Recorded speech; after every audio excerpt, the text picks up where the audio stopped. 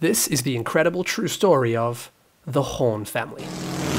Set in the backdrop of 1972 in Melbourne, Australia, they were just like any other Australian family. There was a father, a mother, and three kids, aged 11, 10, and 8.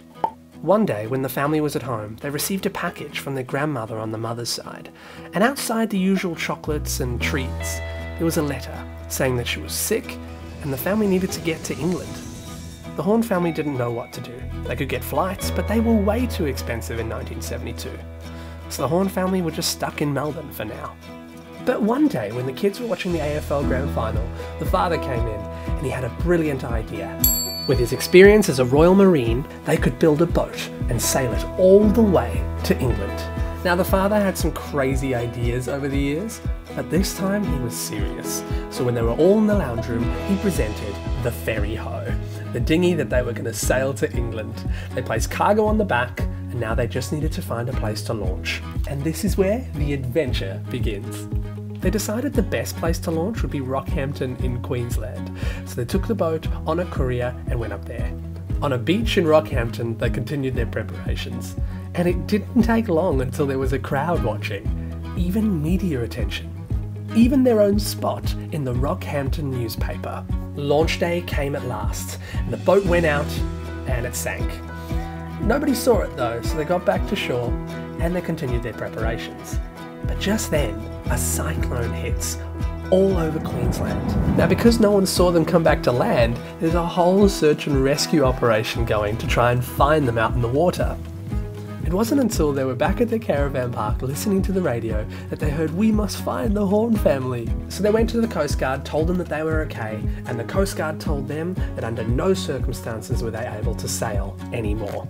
So, faced with the option of going home, the Horne family decided to press on, but they couldn't sail anymore. And then a new idea hit. Why don't they hitchhike? So they put out their thumbs and got a lift to Cairns. In Cairns, parents got a job, kids went to school for a little bit. They earned enough money so that they can get a flight to Thursday Island. In Thursday Island, they went fishing and worked a little bit more until they were the official navigators on a Japanese pearling lugger, which took them to Darwin. In Darwin, they stayed for a few months and then they were ready to leave Australia. They landed in Baucau in East Timor and it was a culture shock. It was busy, it was dirty, it was amazing for them. They then jumped on a truck from Baucau and got to Dili, the capital city. And there, they just missed the ferry that would take them across the border. For the road ahead, they were presented two options.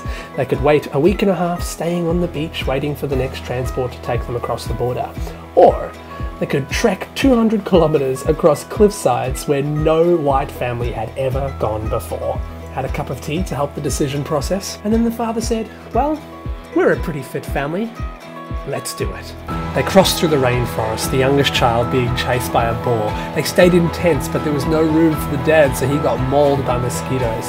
They met tribes and exchanged gifts along the way. But when they finally got to the border, the father collapsed.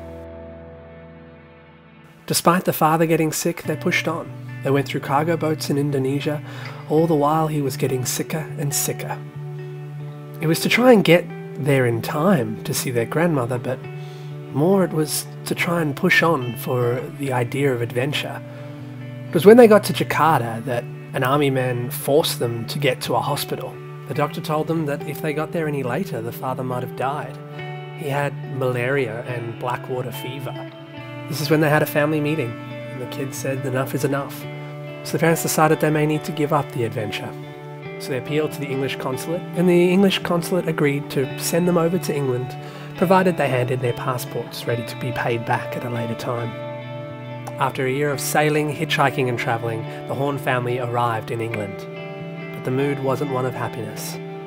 They arrived the day after the grandmother passed away. The Hornes learned that family was the most important thing, and all they had in the end. They stayed in England for another year and a half, paying off their passports. And then, well, then they needed to get back to Australia. So they hitchhiked all the way back through Europe and the Middle East, eventually making it back in Melbourne. As you've just seen, it is an incredible story that I have the wonderful, wonderful opportunity to make into a feature film.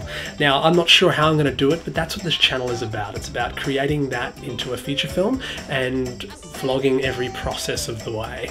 So please subscribe. Uh, there's another video just on the side at the moment that you can have a look at, which will basically show you the start of my uh, journey of the behind the scenes of making this film. But anyway, uh, thanks for watching, and I'll see you next week or sooner. See ya.